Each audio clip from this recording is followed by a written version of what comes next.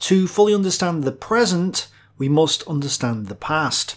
And one thing I see time and time again is people misunderstanding elements of the past, which is bad because it leads to false conclusions, which in turn leads to horrible and needless suffering. One of my patrons, John Hargreaves, recently asked me a question regarding Hitler and National Socialism. He said, I am a naive scientist and engineer with an interest in all things about people and what drives them. Therefore, may I ask a question, please? In the creation of the National Socialist state by Hitler, did he not effectively privatize the whole state as his and his board of directors' sole control? Was he and the inner party reaping the benefits of ownership of the state? I understand, I think, all you have said, but surely any dictator from whatever political colour is a dictator because they have taken over the state in their private control. Just a thought. Bear with me here because what I'm about to describe to you is 100% relevant, but in order for me to explain this properly, for the first time on this channel, we have to go right back to the dawn of Western civilization. So, let's do that.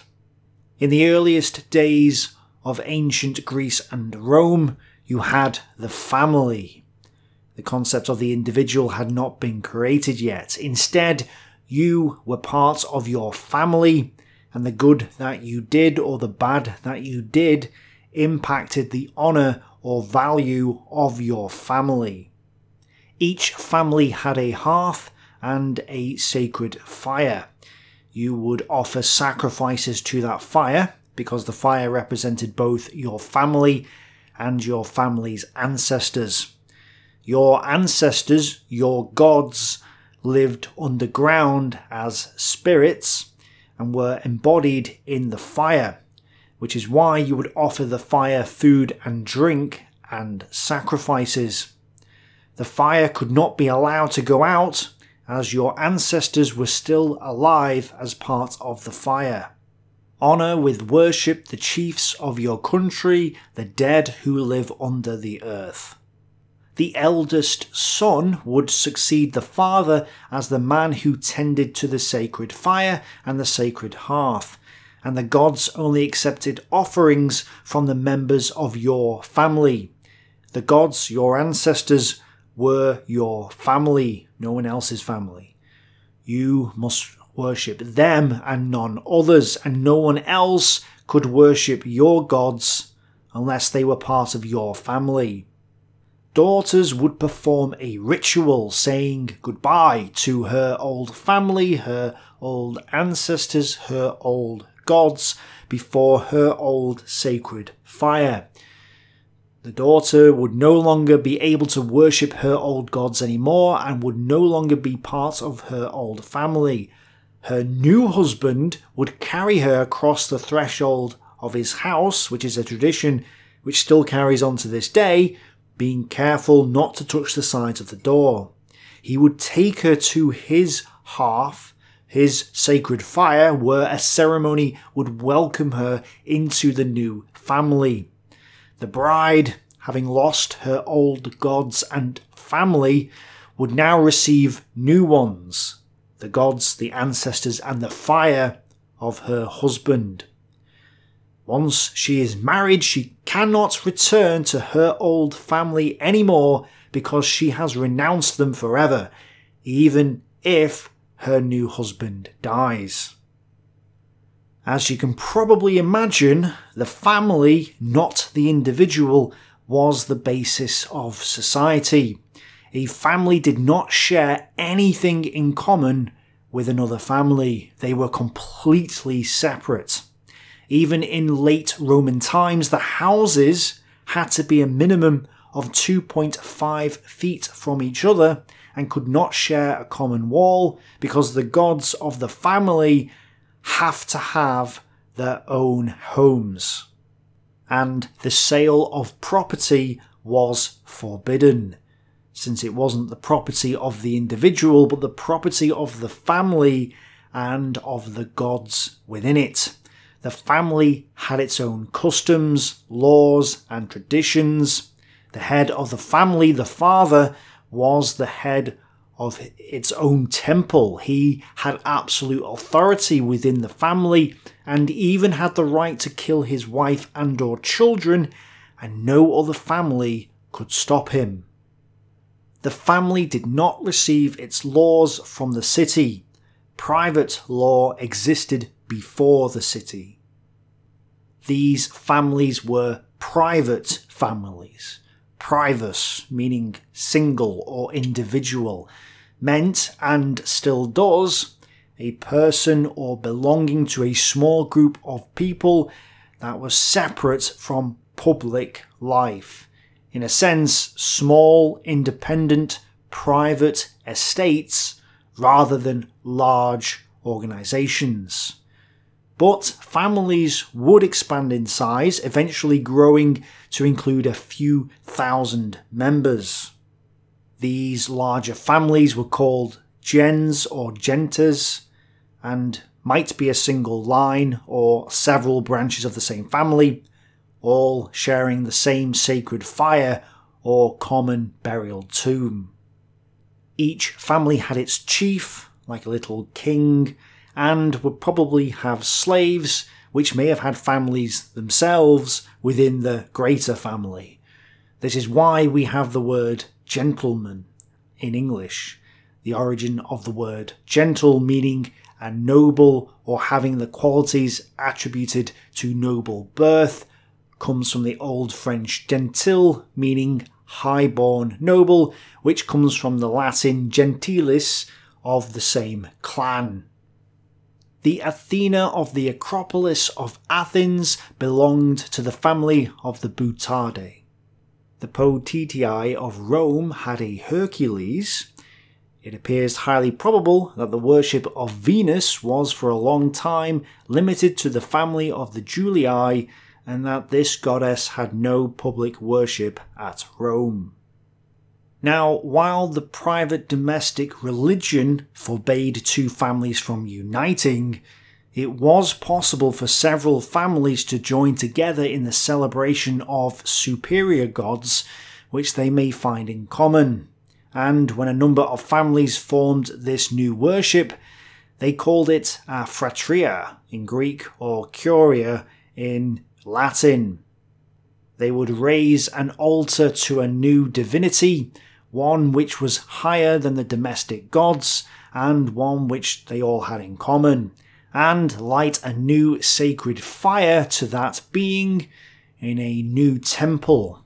And the curia, or fratria, had its own chief, or curion, or fratriarch. This new phratry, where we get the word fraternity from, or brotherhood, had its own laws, customs, gods, worship, priesthood, and government. It was a small society, and when several of these societies joined together, they would create a tribe.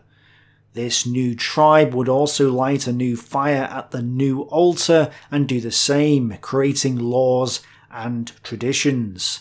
The head of the tribe, the tribunus, would be the king of this society.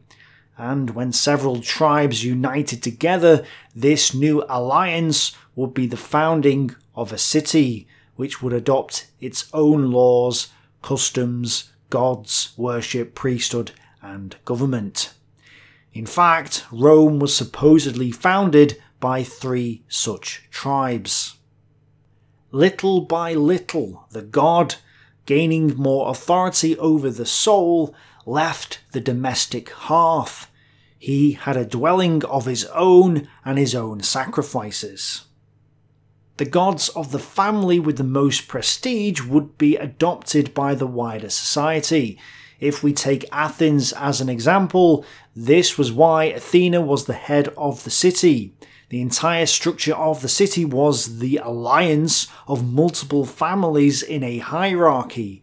This hierarchy united the many private families together.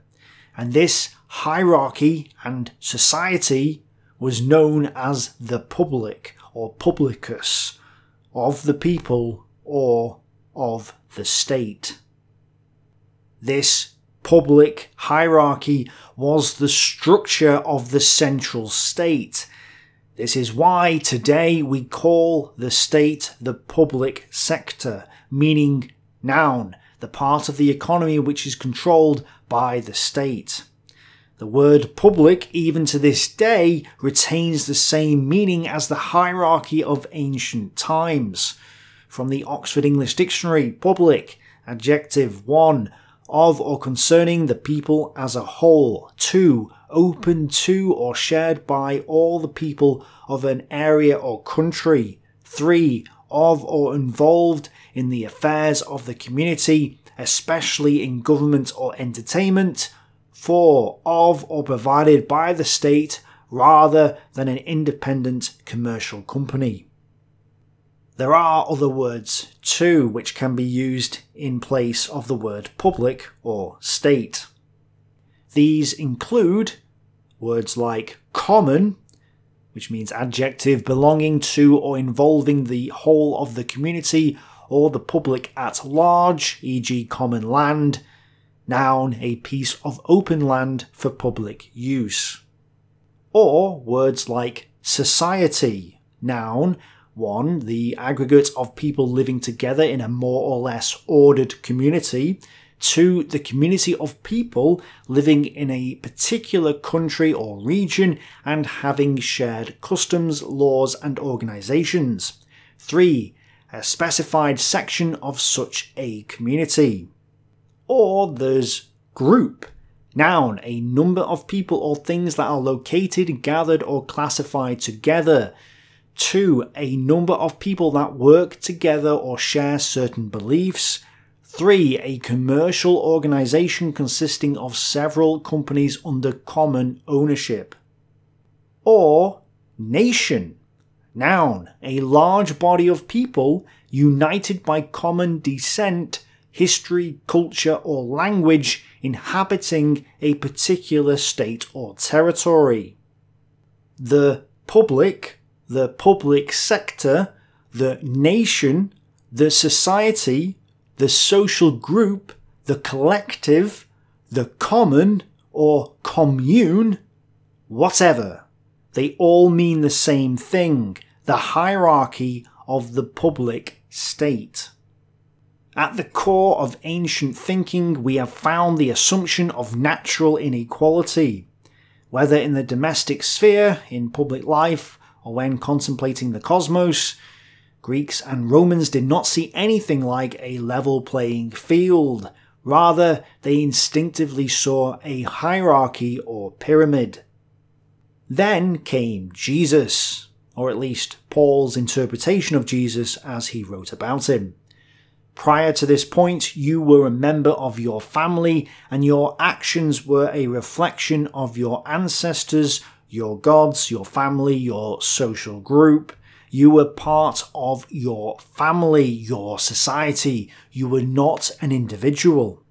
But Jesus died on the cross for your sins. He said, Your individual actions will be judged not by your family or society, but by God, and he will judge you alone. You are responsible for your own life, and you will go to heaven or hell based on what you do, not based on what your family or your society does.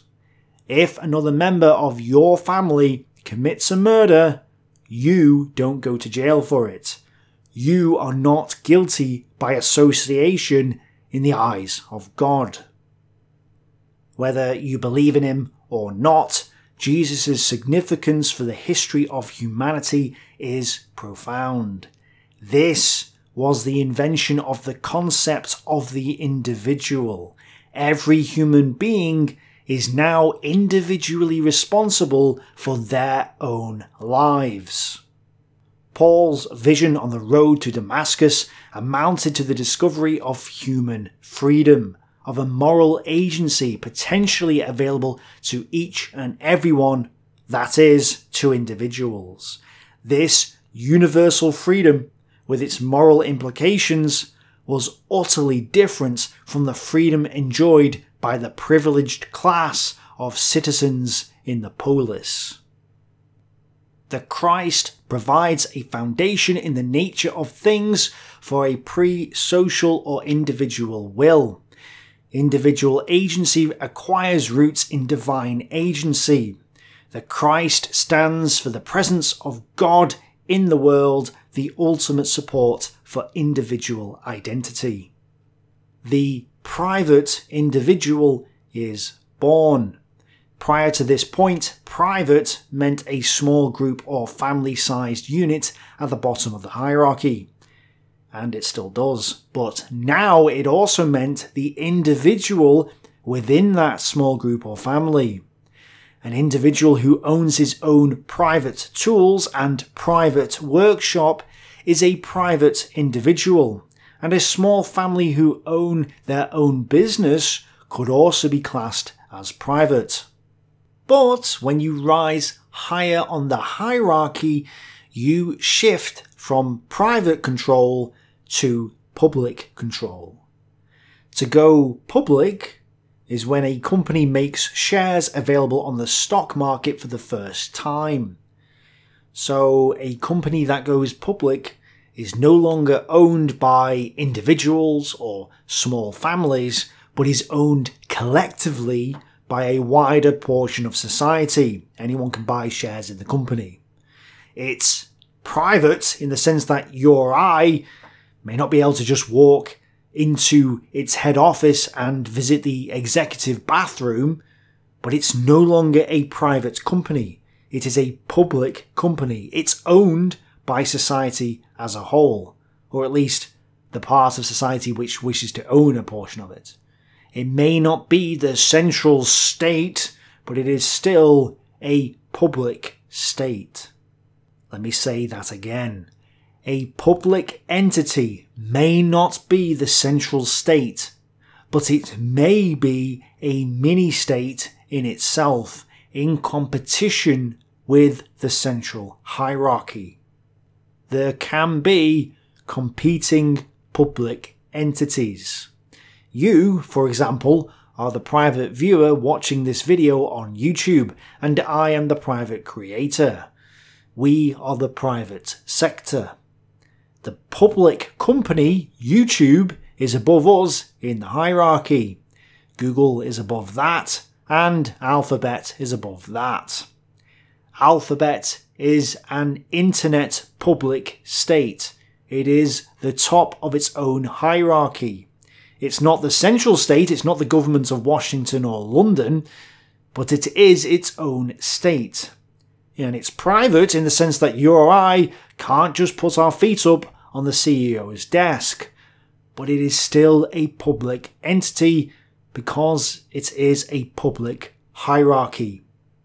And it is in competition with the central states for power, which is why they're getting in trouble at the moment over their censorship and election rigging scandals.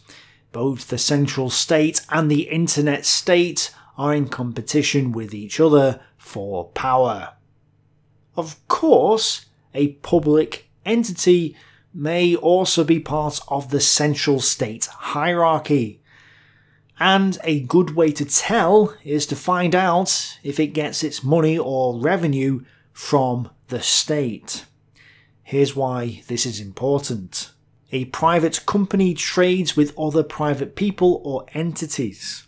This trade, the exchange of goods and services, is called barter. You give me fish, and I'll give you a lump of this shiny metal called gold. However, after a while, lumps of gold and silver were turned into coins, which had a fixed weight and size. It was then possible to start saying things like, this quantity of fish is worth 16 one ounce gold coins. Therefore, this quantity of fish is worth one pound of gold. 16 ounces is a pound, which is where pound sterling comes from. The exchange of goods and services by lots of private people and entities is what generates prices. We only know the value of whatever it is we buy because of the exchange of goods and services by private individuals. Without the trade of private individuals, without the buying and selling of items in exchange for money or currency, we wouldn't be able to put a price on something. If you're alone on a desert island, how much is a coconut worth in gold or paper? Well, it's not. It has no price value. Okay, yes, it is valuable, but you cannot calculate the price of it because you have no one to agree with you on that price. Only by exchanging goods with other people in a free market can we come to a price. And that price isn't fixed and also varies depending on circumstances. If you're drowning in a river, a glass of water isn't worth much to you. But if you're dying of thirst in a desert, you'd give anything to have a glass of water. Is a bottle of water at the supermarket the same price as the same bottle of water at a motorway service station? No, because you have less access to quantities of water on a long flat road than you would have if you were at home. So the price is more at a service station than it is at your local shop. Products do not have inherent prices. An apple fell off a tree and hit Newton on the head. If that apple was still around today, you can be sure that people would pay a lot more for that super special apple than they would some random apple in an orchard. Apples are not worth a set price and neither is anything else. The exchange of goods and services between people in different locations with different quantities and differing wants and needs is what gives something its value, its price. We call this concept the subjective theory of value, which was first conceptualized in the late 1800s by economists like Carl Menger. Without private individuals buying and selling goods and services, it would be impossible to calculate the true value of things. It would be impossible to calculate prices. Some authority can arbitrarily order that a bottle of water is worth $1. But if it is worth less than that, people wouldn't buy it. Why would you pay for something that's more expensive than it should be? So there would be massive quantities of unsold bottles of water piled up in warehouses. And if the bottle of water was worth more than $1, if the authority had artificially reduced the price in order to appease the people, everyone would rush out and buy more water than they actually needed, since it's on offer. But since there's only a finite number of bottles of water, there will be shortages of bottles of water, and soon you wouldn't be able to find bottles of water anywhere except for on the free market, where sellers would give you a bottle of water if you paid its true market value, which would be artificially higher than it originally would have been due to the artificial shortage caused by the central authority. Usually, though, authorities don't like free markets and they ban them, calling them black markets or criminal organisations. Profit indicates to someone that a product is in demand. Viewers want history videos, so I can see there's a demand for history videos. Therefore, I make history videos rather than close combat videos, which is what I started out with. If there was a high demand for pizza, then pizza entrepreneurs will start making more profit, which they'll reinvest into their businesses and be able to boost production of pizzas to fulfill that need. Thus, higher profits indicates higher demand. If you get rid of profits, or if the true value of something is impossible to determine, then how would you know what's in demand? How would you know what's economical to produce and what isn't? And what's the most economical way to produce that thing? Is it better to use more labour or more machines? Which machine is more efficient or less costly? How would you know if there's no prices or value? You can't even calculate how costly the electricity is that you're using because there's no price. Private markets create prices which shows demand which can be fulfilled by the market. So, private individuals exchange goods and services. This is called the private market or the free market. And the way to tell if a social entity or business, a public company, is part of the central hierarchy or not is to find out if it gets its money or revenue from the state or central hierarchy, rather than the free market. If the highest authority funds it, then it's no longer subject to the rules of the private or free exchange market. So essentially, if it's paid for by the state, it is the state. For example, a private individual gives money to a individual doctor in a building. This building would be a private hospital because it provides patients with healthcare directly through the exchange of goods and services on the market. If instead the government provides healthcare by taxing you and giving that money to the doctor indirectly, this would be a public or social healthcare system, because the market for healthcare has been abolished, or at least artificially manipulated. I've had people in the comments of my videos tell me, not so politely, that the National Socialist Health Service in Britain is a private company.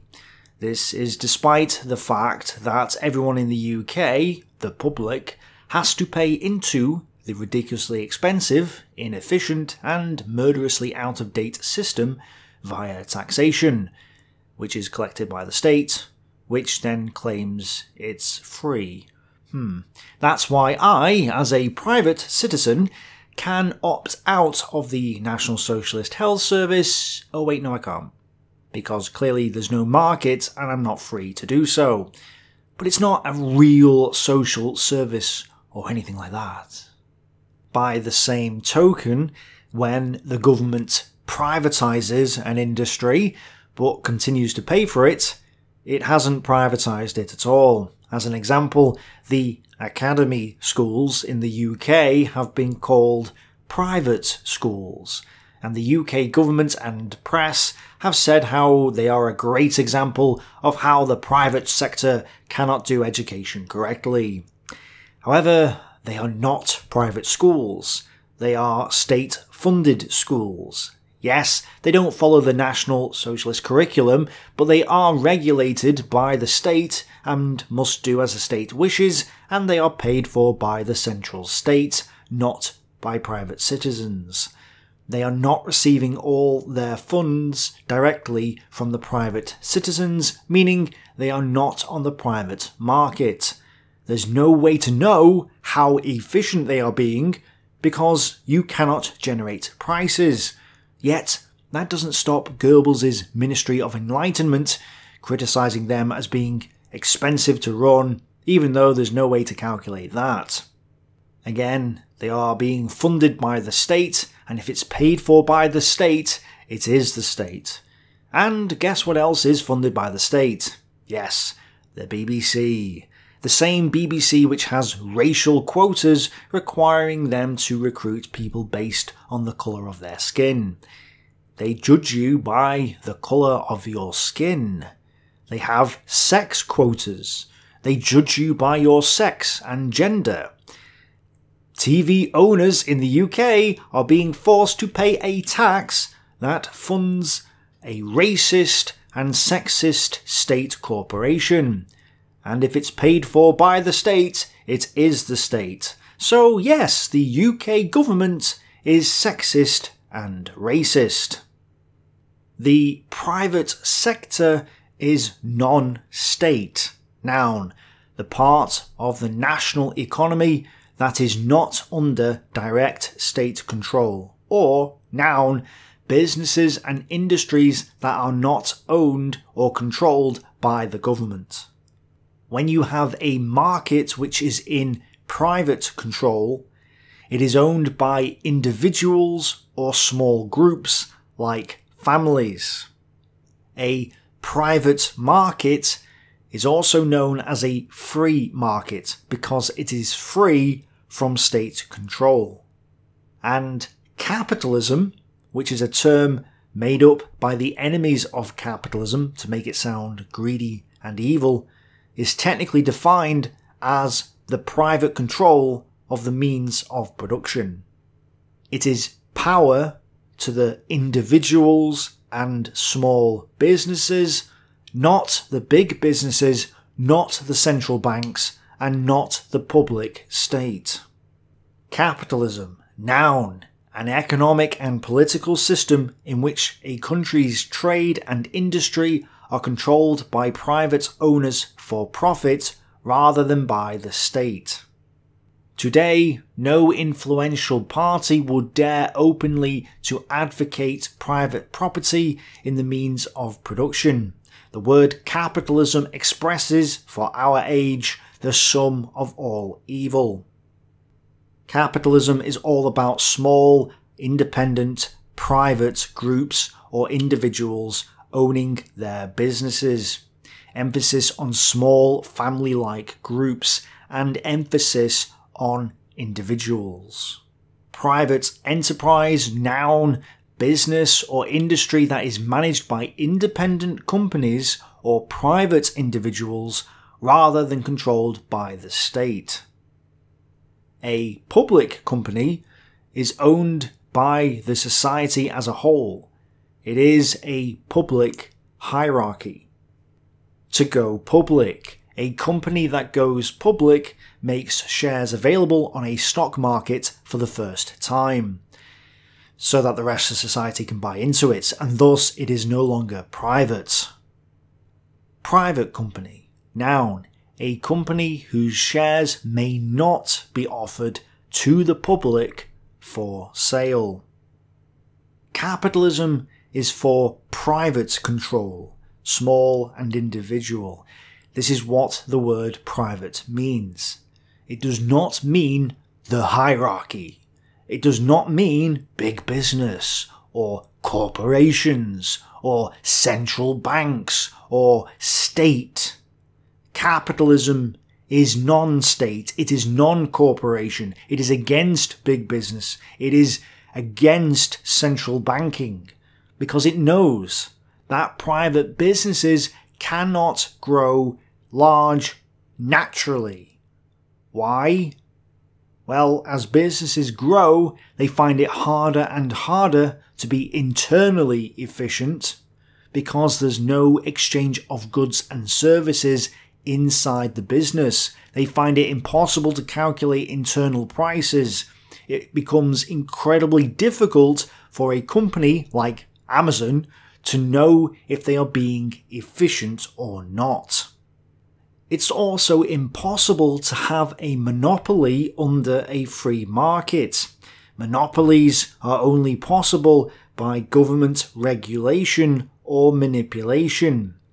Competition forces businesses to lower prices to attract customers, helping the consumer, but also lowering profits, thus keeping businesses lean and efficient a giant bloated mess of a corporation is getting killed by small YouTubers like Tim Pool, who's getting similar sorts of daily views on his channel as they are. Competition is bad for big businesses because despite the fact that they have a bigger budget, bigger teams, and more expertise, they can't compete with a guy with a camera who's doing as good a job, if not better, than they are at delivering the news. If he wasn't, he wouldn't be getting the views. As another example, in the 1800s in America, Commodore Vanderbilt competed with the state subsidized and regulated monopoly steamship company owned by Fulton. Technically, it was illegal for Vanderbilt to compete with the government monopoly, but since rules are meant to be broken, he did anyway, undercutting Fulton's monopoly by charging lower prices and being more efficient with his business. Eventually, he cut prices to zero. Yes, zero. He charged nothing to passengers for travelling on his steamboats, making money by selling them things on the boats themselves. This is what capitalism is all about the idea that left to its own devices, the market will keep things small and cheap. It is all about giving as much power as possible to the small companies and private individuals in society, benefiting the consumer and limiting or bringing down the big businesses and corporations and states which weigh heavily upon society. It is against the hierarchy, for the benefit of the people at the bottom. It uses profit as a guide. Are the people going hungry through famine? Okay, then there's profit to be made if only I can figure out a way to put food in the mouths of those people who are hungry. The rest of the hierarchy, the public sector, is built upon the private sector. Without the private sector, the hierarchy has no foundation. There can be individuals without states, but no state without individuals. You know this is true because during regime changes or the fall of nations, the people live on. The Norman conquest of Britain did not see the Anglo-Saxons, the English, wiped from existence. The English still exist today. The downfall of one public regime and the replacement by another might be bloody, but doesn't necessarily destroy the private foundation. This replacement of a regime is like a wheel. You start at the top, flow around, and come back to where you were. You're not moving anywhere. In fact, in some cases, you're going backwards. You're just replacing the old public state with a new public state. And this is why we call this process of regime change a revolution. Wheel, revolution, you get it? So, if capitalism sees the need for the private sector to dominate society, what is it called when the public sector dominates society? Well, there's a few different terms. Collectivism. Noun. 1. The practice or principle of giving a group priority over each individual in it. 2. The ownership of land and the means of production by the people or the state as a political principle or system. Or socialism. Noun. A political or economic theory of social organisation which advocates that the means of production, distribution, and exchange should be owned or regulated by the community as a whole. It is the aim of socialism to transfer the means of production from private ownership to the ownership of organised society, to the state. The term communism signifies just the same as socialism. The use of these two words has repeatedly changed during the past decades, but always the question which separates socialists from communists was only political tactics, both aimed to socialise the means of production. Socialism is the socialisation of the means of production. And that's just a fancy way of saying that society as a whole, in other words, the public sector hierarchy, is in total control, not the private individuals. it doesn't necessarily mean that the central state is the only authority. You could have other public bodies which are in control of certain sectors of the economy as well. Trade unions, for example, also known as syndicates, could dominate society by being another hierarchy, either outside or as part of the central state structure. This is still socialized control of the economy, it's still socialism, just a different form of it. You could also live in a collective or organize society into other public bodies that form their own hierarchies. And just to clarify, the word communism has evolved over time, but prior to Lenin and Stalin, communism and socialism were synonyms of each other. They both meant the same thing. And even now, they both advocate public sector control of the economy. They just want to get there in different ways and rule over society in different ways. But essentially, they mean the same thing.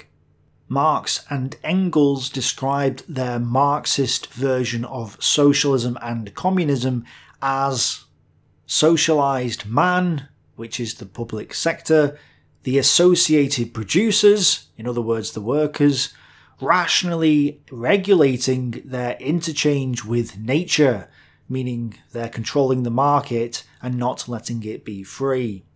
Bringing it under their common control, bringing it into the hierarchy of public state control, instead of being ruled by it as by the blind forces of nature, instead of being ruled by the free market or private market.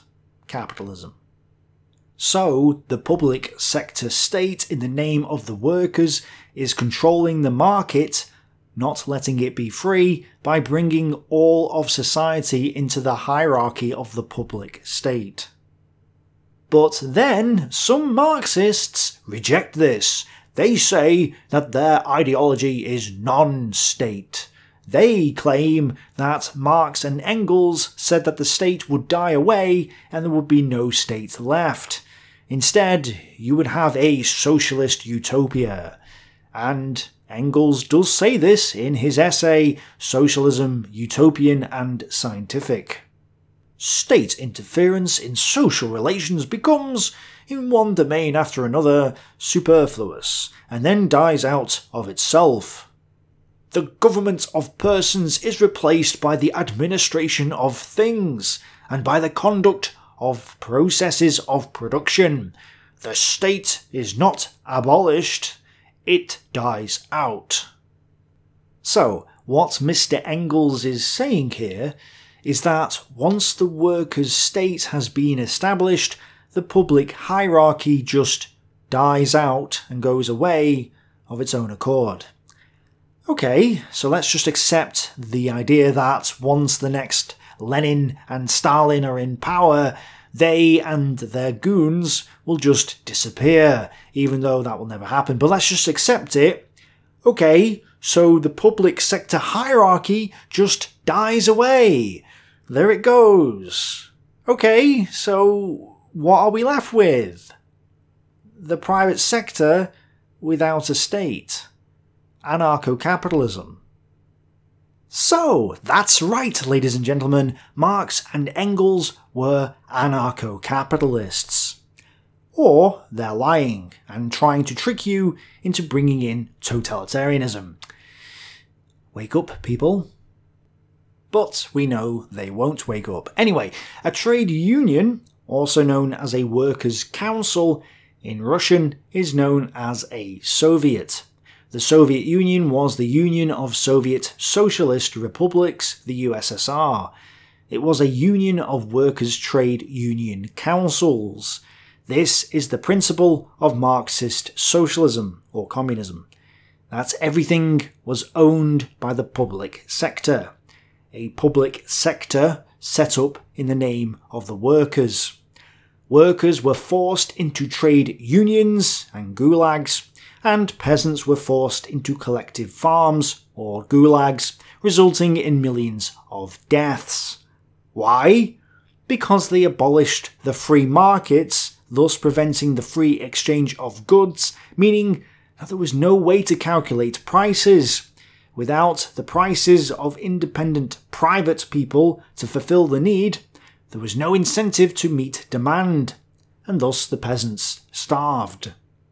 When Lenin got into power in Russia after the October Revolution, which happened in November, one of his first tasks was to get bread from the farms into the cities.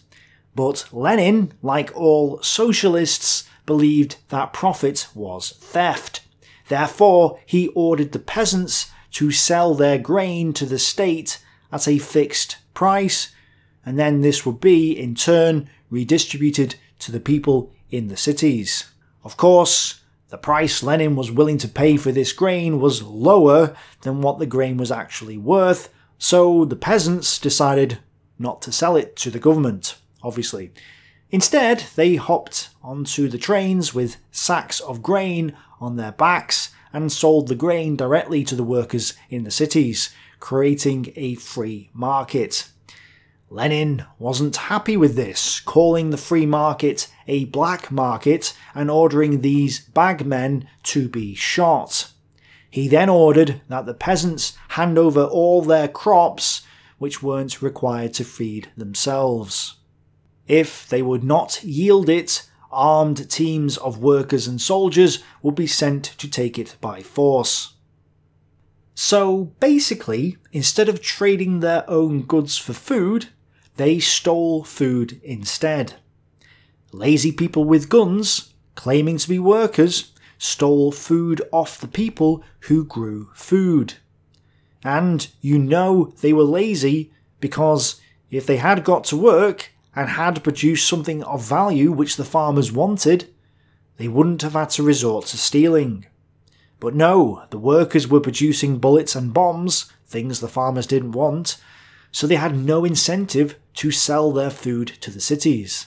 There was now a shortage of food in the cities, causing the prices of food to go up, making people hungry. Instead of producing consumer goods that farmers might want, Lenin called for the peasants to sell their food for cheaper prices, giving them no incentive to do so. They then refused and decided to go behind his back. Then Lenin decided to shoot people who tried to trade for food, bringing a halt to the free market. Thus, the only way to get food was to steal it by gunpoint, which is what they did. Welcome to Utopia. Anyone who refused to hand over their grain was deemed to be a capitalist, and the term kulak, meaning tight-fisted, was applied to describe them. This was during the Russian Revolution, but later, in the 1930s, the Marxist socialist state under Stalin decided to crack down on the peasantry even more, since Marx had called for the improvement of the soil generally in accordance with a common plan in the Communist Manifesto. Well, this improvement could only happen by force.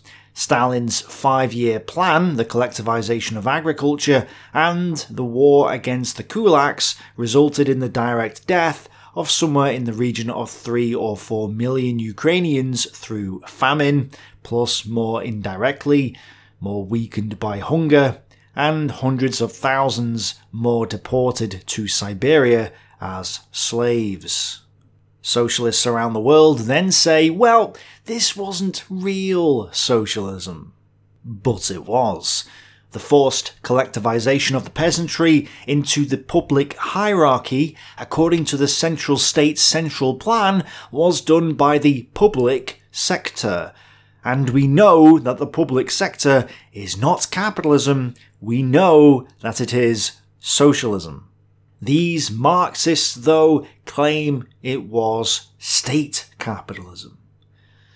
Well, the term state capitalism is an oxymoron. It's a term made up purely to confuse people. It's actually saying public and private at the same time, which is impossible. An entity is either not part of the public hierarchy, or it is. And if it is public, then it's not capitalism, it's socialism. Simple. And this is why the term state capitalism was invented to hide the term socialism. If the public sector state is in control, as the phrase implies, state capitalism, then it's socialism public or social control of the means of production. But the enemies of capitalism want to deceive and confuse people. If they muddy the terms enough so that you don't understand them, you'll give up trying to understand everything and instead turn to the slogans. Slogans like, steal from the rich and give to the poor. Even though Robin Hood stole from the king, who was the state, and gave the money back to the taxpayer, regardless of whether they were rich or poor. But shh, don't tell you. Liberalism champions private property in the means of production because it expects a higher standard of living from such an economic organisation, not because it wishes to help the owners. In the liberal economic system, more would be produced than in the socialistic the surplus would not benefit only the owners. According to liberalism, therefore, to combat the errors of socialism is by no means the particular interest of the rich. It concerns even the poorest, who would be injured just as much by socialism. Here's another slogan that socialists use to confuse you capitalism is for big corporations but that's simply not true. Again, capitalism is about the private sector, the non-hierarchy part of society. It is distinctly anti-corporation. In fact, it is the socialists who are pro-corporation. They want government control of the economy. They want central banks, as Marx called for in the Communist Manifesto. They want trade unions and workers' councils, which are corporations, let me explain. If you have large trade unions which dominate society, something that Marxist syndicalists believe in, you could say that they would embody the nation. If they embody the nation, embody, body, corpse, corporation, that's where the term comes from, then they would be giant public entities.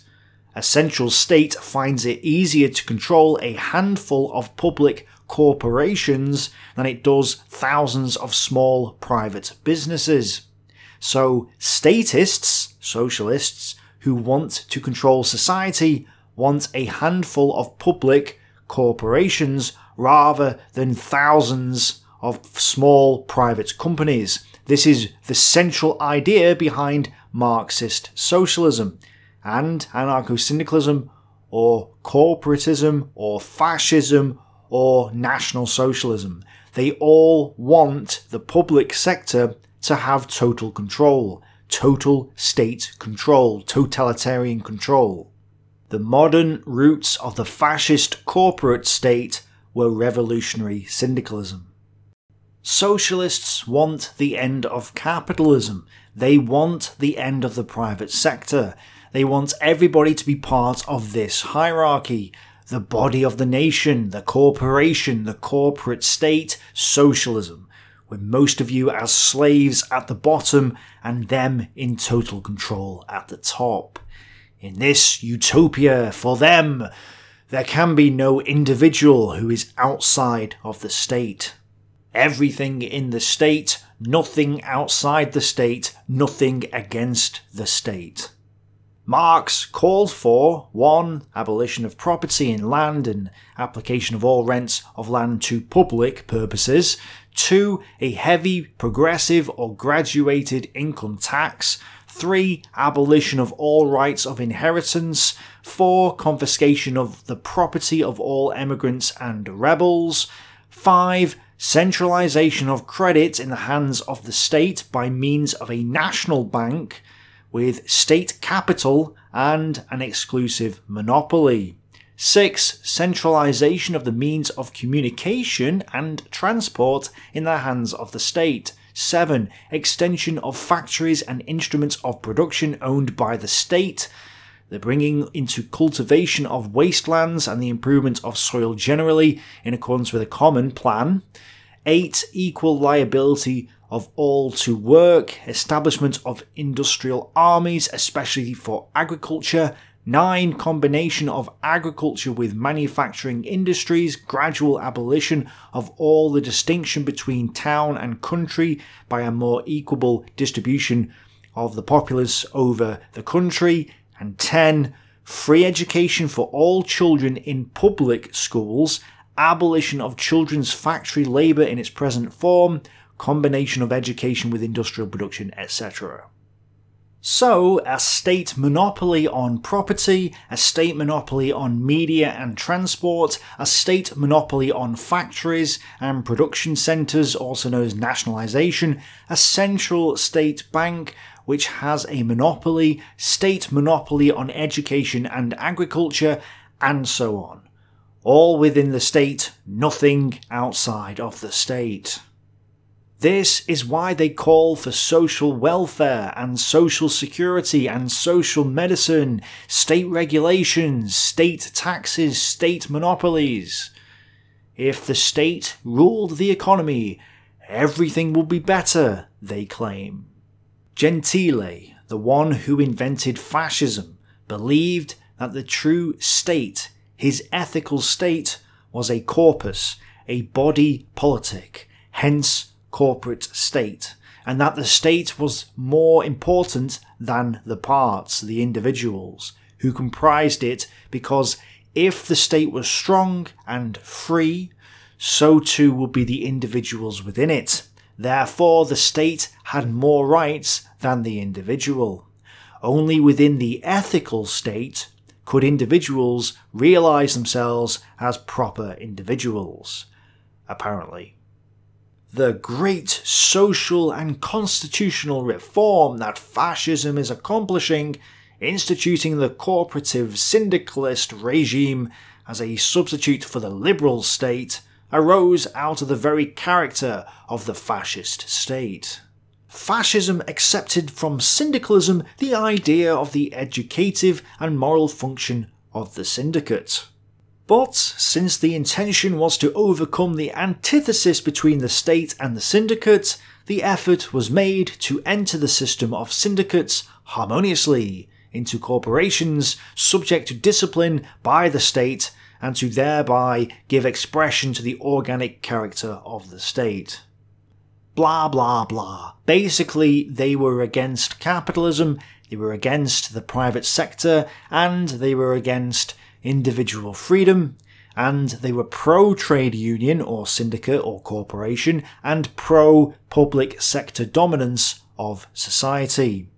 Their main influence was Marxism, but they can't admit that because most people feared Marxism at the time, so they wanted to distance themselves from the Marxists by calling themselves something else.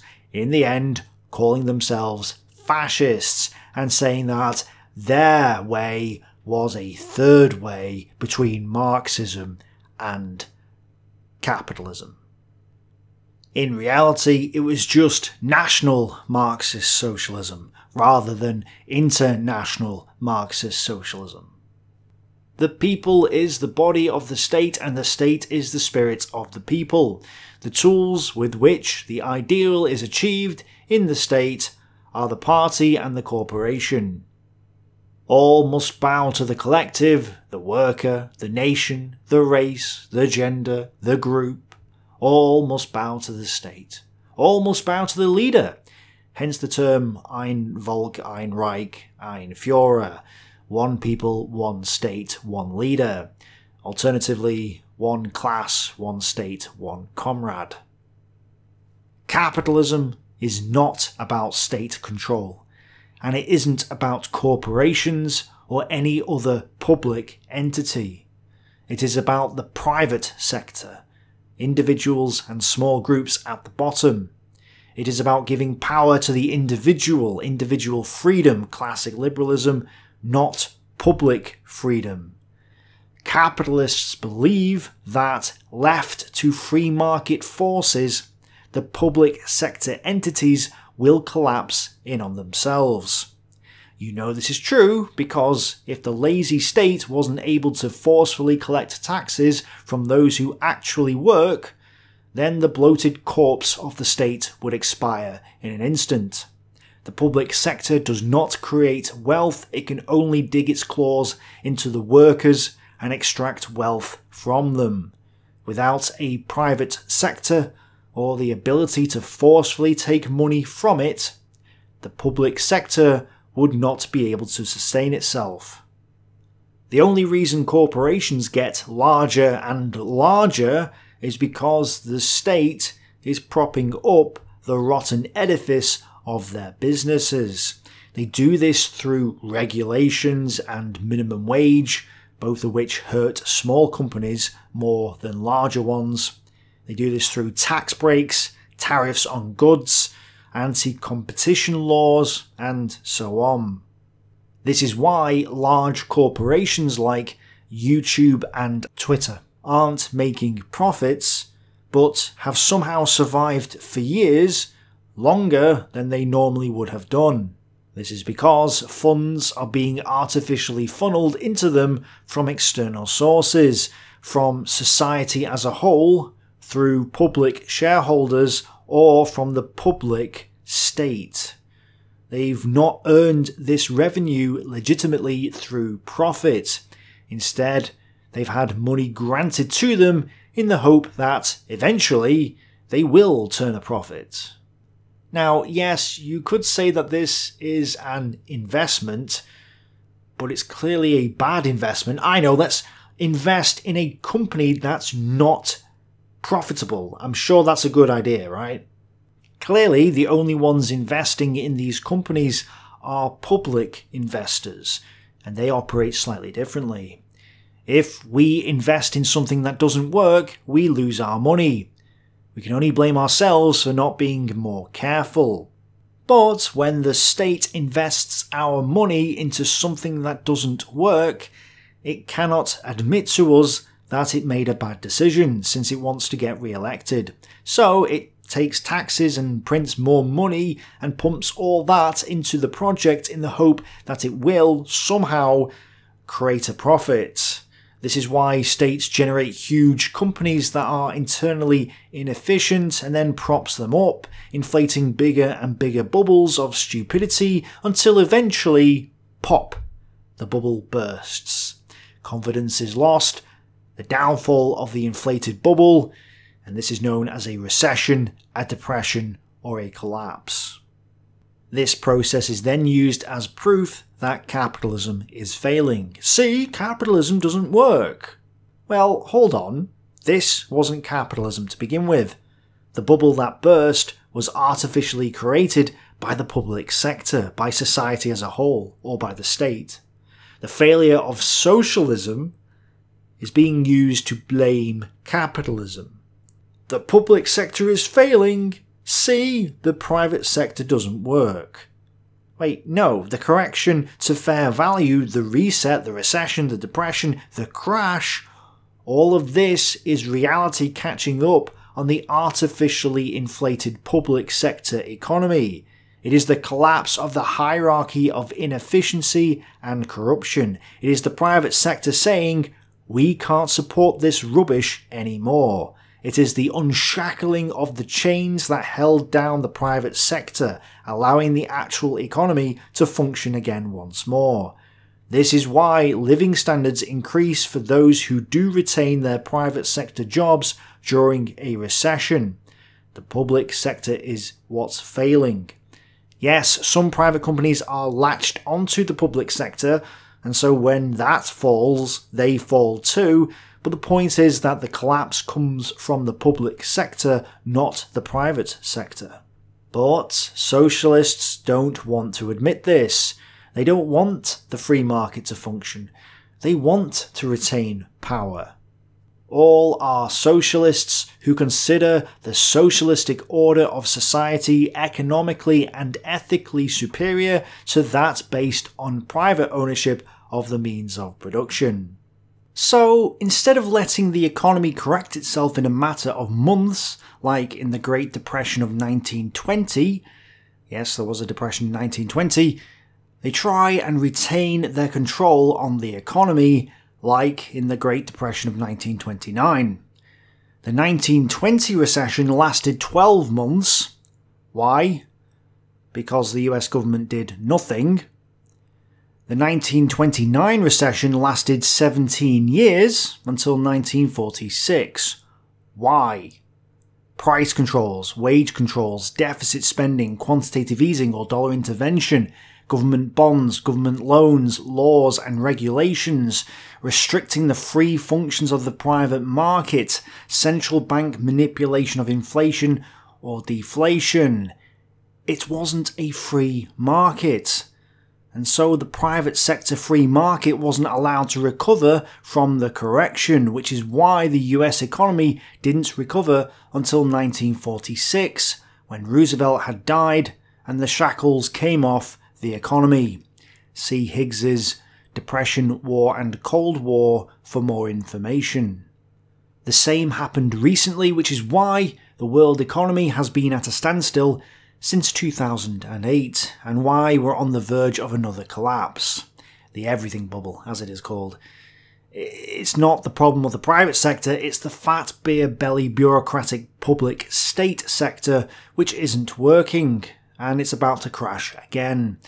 And it will keep on crashing again and again, and we'll keep getting hangovers until people decide to learn from history, until people realise that the public sector is the problem, the cancer of society, and decide to sober up. Some people genuinely believe that a strong public sector, a strong collective, a strong nation, a strong society, is what is needed to solve all our problems. Because the answer to the problems of the current state is a revolution which brings in another state. The problem of the old aristocratic regime can be cured by the French Revolution and the dictatorship of Napoleon. The problem of the Tsarist state can be cured by the Leninist state or the Stalinist state. The problem of the Kaiserreich can be cured by the Weimar Socialist Democratic State, which in turn can be cured by the National Social State. The problems of the current authoritarian state can be cured by our insert totalitarian regime ideology here, state. They're not interested in anything other than power. They want more public sector monopoly control, and they want to be in charge of it. That is all.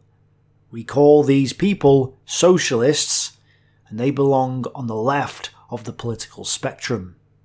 The leftists believe in strong centralisation. The leftist is always a statist. Other people believe that the problem is the public sector itself. They call for the limitation of government power, for a voluntary tax system rather than force, or the abolition of government altogether.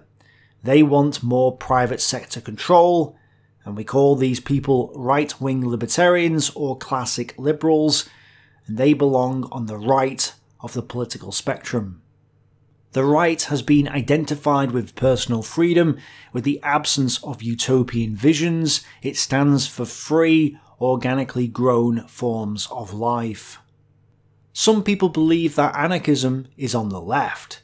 There are anarcho-syndicalists and anarcho-communists who call for the abolition of the current state, and then start talking about a new utopian federal state which is apparently classed as anarchism in their minds.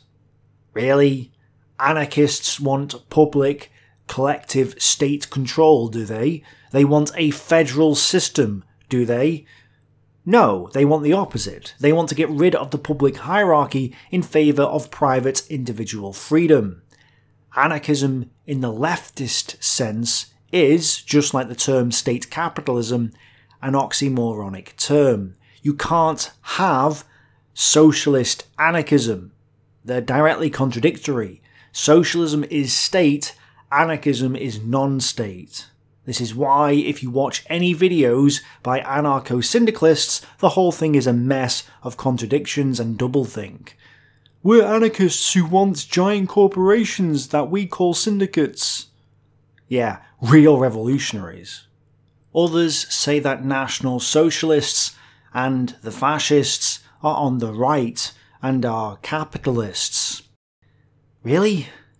These people genuinely think that fascists and Nazis don't want a strong leader or a strong state which is in totalitarian control. They genuinely believe that fascists and Nazis don't promote collective racial or national control, but instead promote individual freedom and free trade. Clearly, that's not the case. Hitler makes it blatantly clear that he hates capitalism and free markets, which he associates with the Jews. The internationalization of our German economic system, that is to say, the transference of our productive forces to the control of Jewish international finance, capitalism, can be completely carried out only in a state that has been politically Bolshevized. But the Marxist fighting forces, commanded by international and Jewish stock exchange capital, cannot finally smash the national resistance in Germany without friendly help from outside. Yes, Hitler hates both capitalism and Marxist socialism because, in his mind, both of these two ideologies were created by the Jews in a giant conspiracy to bring down civilization. As Zitelmann points out, contrary to the accepted Marxist interpretation, Hitler was not an opponent of Marxism and did not want to destroy it because he was inimical to labour, but because he was caught up in the insane idea that Marxism was an instrument of the Jews for the achievement of world domination. And above all, because he rejected internationalism, pacifism, and the negation of the personality principle by Marxism. The primary reason why Hitler was against Marxism was because he thought Marxism was Jewish. Let that one sink in. But clearly, Nazis and fascists are for a strong public sector, and thus are on the left of the political spectrum and are socialists. National Socialism should not be primarily interpreted as anti-Marxism.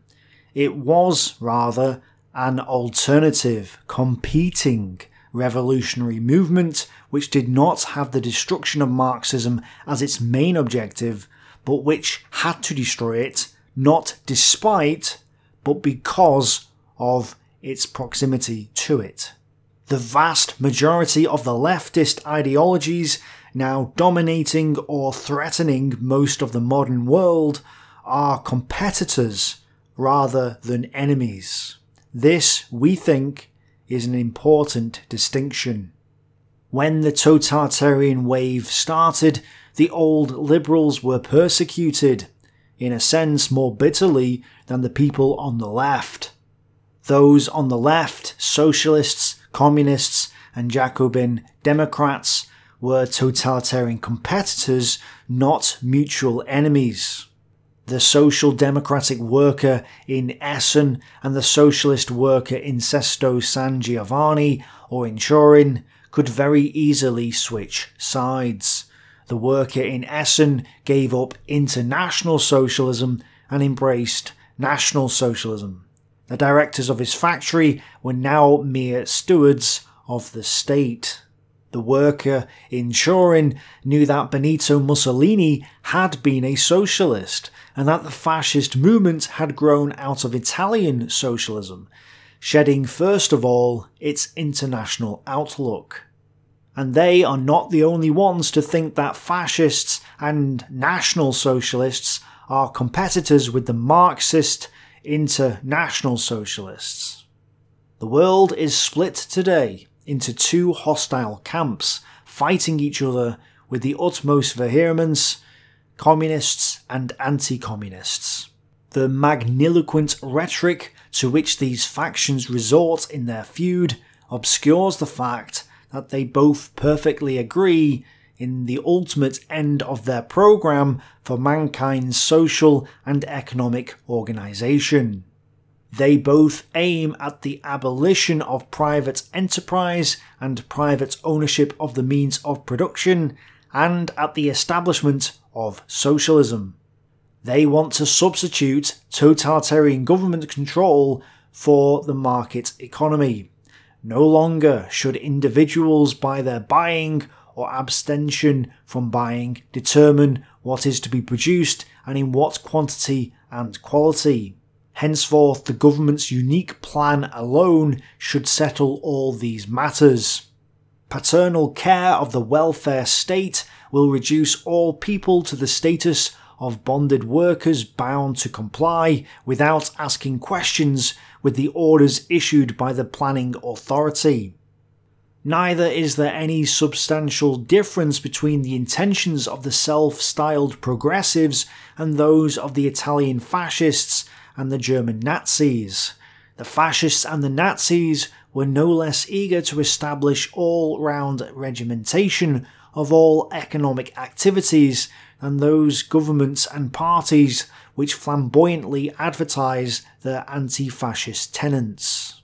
It is a matter of dispute whether, prior to the middle of the 19th century, there existed any clear conception of the socialist idea, by which is understood the socialization of the means of production with its corollary the centralized control of the whole of production by one social or, more accurately, state organ? The answer depends primarily upon whether we regard the demand for a centralized administration of the means of production throughout the world as an essential feature in a considered socialist plan. The older socialists looked upon the autarky of smaller territories as natural and on any exchange of goods beyond their frontiers as at once artificial and harmful. Only after the English free traders had proved the advantages of an international division of labour and popularised their views through the Cobden movement, did the socialists begin to expand the ideas of village and district socialism into a national and eventually a world socialism. Even Hitler said that they were competitors, which is why he emphasises their differences over and over. The racial Weltanschauung worldview is fundamentally distinguished from the Marxist by reason of the fact that the former recognises the significance of race and therefore also personal worth and has made these the pillars of its structure. If the National Socialist movement should fail to understand the fundamental importance of this essential principle, if it should merely varnish the external appearance of the present state and adopt the majority principle, it would really do nothing more than compete with Marxism on its own ground. For that reason, it would not have the right to call itself a Weltanschauung worldview. If the social program of the movement consisted in eliminating personality and putting the multitude in its place, then National Socialism would be corrupted with the poison of Marxism, just as our national bourgeois parties are. All must be part of the National Socialist state rather than the Marxist Socialist state. In its organisation, the state must be established on the principle of personality, starting from the smallest cell and ascending up to the supreme government of the country. All must submit to the public sector state, the collective, the people's state. But of course, once the public sector is in control, the people don't really have much of a say. The people's state will classify its population in three groups citizens, subjects of the state, and aliens. The public sector is in total control, so you, the individual, must bow to the collective.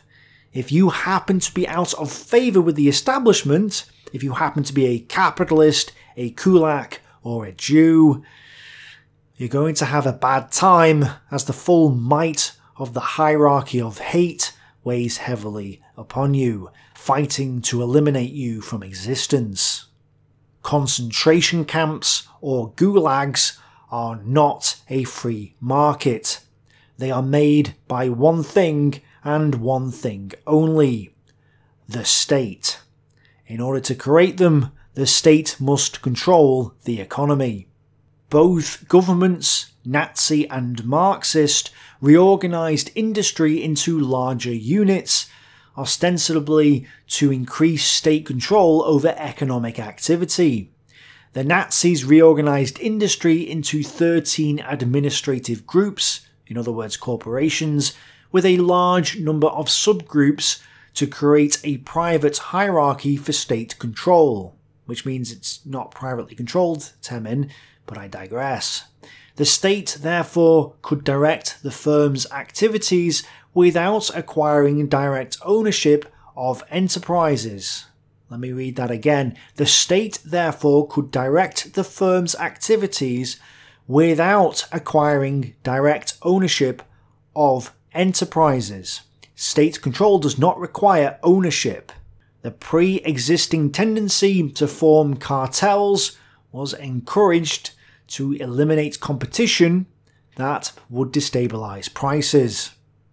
The Soviets had made a similar move in the 1920s. Faced with a scarcity of administrative personnel, the state encouraged enterprises to combine into trusts and trusts to combine into syndicates, corporations. These large units continued into the 1930s, where they were utilised to bridge the gap between overall plans and actual production. And this is where people go wrong in their thinking. People have screamed at me in the comment sections of my videos telling me that Hitler was a capitalist. So in their minds, Hitler was against the public sector, the state hierarchy, and was for the little guy, the small independent private individuals and families. And this is where their logic breaks down. It makes no sense. For example, here is a user known as the Finnish Socialist. He says, Socialism is and has been defined as social ownership of the means of production and is opposed to private ownership of the means of production. Okay, glad to see we're in agreement with that. Socialism is against individuals who want control of their own economy. It doesn't want the workers to own their own tools, which is capitalism. It calls for the social or public sector ownership of those tools, state control. This is not only from a Marxist point of view either. True, there are many versions of socialism, since there are many different types of states including fascist socialist Italy and National Socialist Germany. But then he says, why Nazi Germany wasn't socialist is fairly obvious. They did mass privatization programs. Hell, even the word privatization was invented because of them. Except, they didn't mass privatize anything. The word privatization was coined by them.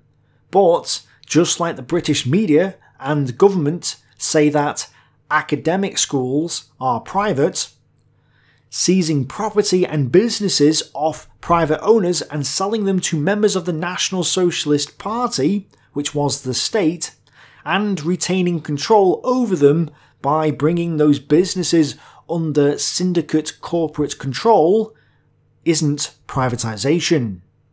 In practice, the Reichsbank and the Reich Ministry of Economic Affairs had no intention of allowing the radical activists of the SA, the shop floor militants of the Nazi Party, or Gauleiter commissioners to dictate the course of events.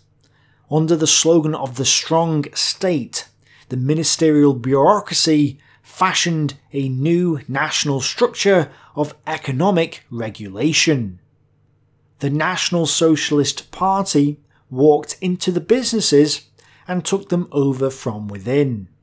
They nationalised and socialised the industries and called that privatisation.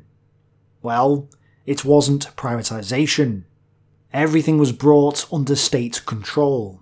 And what's interesting is that the international socialists are quick to point out that just because socialism is in the name of National Socialism doesn't mean it's socialism. They say you can't take the Nazis at their word. True. I 100% agree. You can't take the Nazis at their word.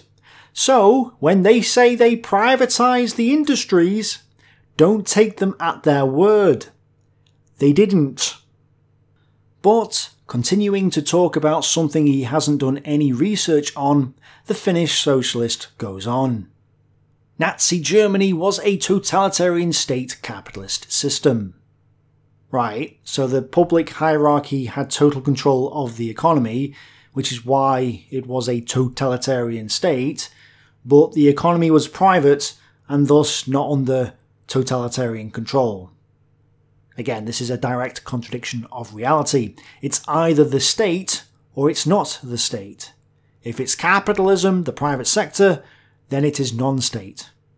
If it is non-state, then it cannot be a totalitarian state because the private citizens are not controlled by the state. The words he used should read, National Socialist Germany was a totalitarian state socialist system. Let's read on. The capitalist mode of production was prevalent. There was lots of small businesses independent of the state, was there? Well, I guess National Socialist Germany definitely wasn't a totalitarian regime then. Also, let's just ignore all the independent capitalist Jewish businesses which got smashed up, stolen, and Aryanized by the public sector state. Yes, let's just ignore that completely. The life of the German businessman is full of contradictions. He cordially dislikes the gigantic, top-heavy bureaucratic state machine which is strangling his economic independence, yet he needs the aid of these despised bureaucrats more and more and is forced to run after them, begging for concessions, privileges, grants, in fear that his competitor will gain the advantage. Yes, definitely sounds like a free market to me. Then he says, unions were abolished. No, they weren't. Private unions were absorbed into the DAF, the German Labour Front, because all unions had to be brought under control of the state. In other words, unions were nationalised and socialised, which is exactly what Marxist socialists want.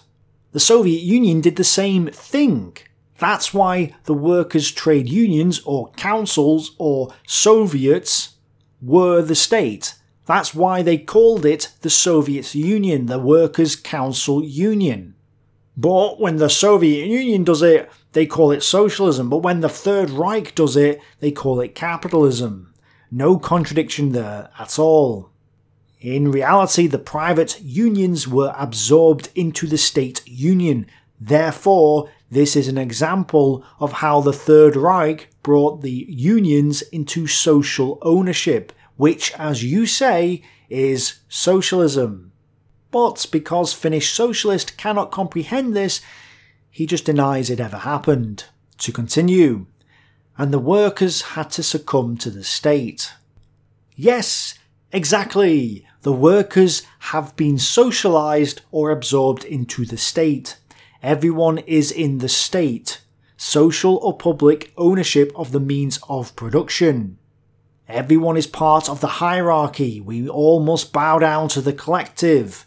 So, you saying this is, by your own words, an admission that the National Socialist regime was socialist, but because he does not understand the difference between the public and private sectors of society, he does not see the contradictions in his own words. Also, if the workers are controlled by the state, they're no longer part of the private sector, meaning this isn't capitalism. This contradicts what he said earlier. The irony is that Mr. Finnish Bolshevik here probably wants the workers to own their own tools in some sort of utopia. He wants the poor to be better off by owning their own factories. Well, this utopia he is envisioning, where the workers are owning their own tools, is called capitalism. In capitalism, the workers can own their own tools. In fact, that is exactly what capitalism is the private individual's ownership of his means of production. The individual owns his own tools. But if everything is owned by the collective, then the workers don't own their own tools. Instead, the collective owns the tools, and the collective is the state. But again, socialists haven't figured this out yet. Worse, they come up with nuggets of doublethink like this one. Even if National Socialist Germany wouldn't have had markets, which they did, that doesn't mean that the system isn't capitalist. So basically, he's saying that if the free market capitalism didn't exist, it would still be classed as capitalism. Honestly, sometimes it boggles the mind. I look at these comments and wonder if these people have ever had an independent thought in their life. The Borg Collective has told me to say that the moon is made of cheese. Therefore, the moon is made of cheese. Herpy derpy derp derp. And they get so angry when I point out the blatant contradictions in their comments, which is what I'm doing here. For starters, Mr. Finsock, one of the reasons, perhaps the central reason, Hitler went to war was because he didn't believe in trade. And he didn't believe in trade because of the socialist concept of the shrinking markets, which I've covered in the shrinking markets videos. So Hitler shut the entire economy down, preventing trade, in the hope of becoming self-sufficient. This was his autarky policy, and his four-year plan policy of converting the Third Reich into a vampire barter economy, as Gunter Reimann makes clear. They implemented import and export controls, reverted to barter, had wage controls, price controls, heavy taxes, regulations, quotas, and so on and so forth. So, no, they didn't have markets. The entire economy was controlled by the central state, and such an economy is called a socialist economy. But, just like Mises said, it's impossible to calculate prices under such conditions and the entire economy was so inefficient it ground to a halt, as shown throughout Aly's Hitler's Beneficiaries. I could literally quote the entire book because it shows exactly how the Third Reich's public hierarchy state had to go to war before its economy devoured itself, and it only managed to stave off economic collapse by resorting to a barter like economy and exporting inflation to the conquered territories of Europe. It's a brilliant read. Please read that book. I highly recommend it. But we're still not done with Big Bolshevik here. It may not be laissez-faire, sure. So to explain, laissez-faire means leave alone. It means that the government will leave the economy alone, letting the market do its thing, and allowing free trade with other countries without tariffs and things like that. So here he's saying it wasn't a laissez-faire or leave-alone economy, which means he's admitting it wasn't capitalism because, in his own words, the economy is controlled by the state. Again, the doublethink is just insane, but let's read the full quote. It may not be a leave-alone economy, sure, but that doesn't mean that the state itself cannot capitalise on other people's labour and that products are not chiefly sold for profit. Okay, so the problem here is that FinSock is relying on the Marxist misinterpretation of capitalism. In a nutshell, Marxists believe that hiring someone else to work for you and paying them for that work is capitalism and even though they have volunteered to work for you and have agreed to the wage and can always leave and go live in the woods or something, it's also exploitation. In their mind, the reason it's exploitation is because of the labour theory of value. This is the idea that a product gains its value based on how many hours it took to make it. So if it took you 5 hours to make a pile of mud, that pile of mud is worth 5 hours of wages. And if you happened to find a diamond on the floor, the diamond is worth nothing because you didn't put any effort into making it. Since everything has a set value, you cannot charge higher than the value. A car that took 10 hours to make is worth 10 hours wage. You cannot sell it higher than that, so the only way for anyone to make a profit is to pay the workers less than their worth. So let's say that you slave away for 10 hours to make a car, and the evil factory owner sells that car for $100. That means that your wage should be $10 per hour but the evil factory owner can't pay you $100 because he wants profit. So instead, he gives you $20 for a rate of $2 per hour and pockets the other $80, which is his profit. So, under the labour theory of value, the evil factory owner makes evil profit by paying you less than you're worth. The problem, of course, is that goods are subjective in value. The subjective theory of value came after Marx wrote Das Kapital. And without the labour theory of value to prop it up, Marxism basically loses its entire substance. Under the subjective theory of value, you may slave away for 10 hours to make a car, which could get sold for $20,000 or not sold at all. Either way, you get paid for the hours you agreed to work building the car, regardless whether the car is sold or not. And regardless whether the owner makes a profit or not, you still get paid. He's taking the risk with his business, you are not. And if you don't like your job, Nothing is stopping you from walking out of the doors and finding a better paying job, or make your own car factory or your own business. Nothing says you have to work for anybody else. Save up some money from your wages, become self employed, and see how the world really works. But yes, this whole idea that hiring someone is exploitative is just a ridiculous and outdated view of how the economy works. The criticism that FinSoc here is trying to deliver is that the National Socialist state exploited people, thus it cannot be socialist. Except that's a meaningless statement since exploitation cannot happen in a free market. If you agree to work for somebody else, you have not been exploited.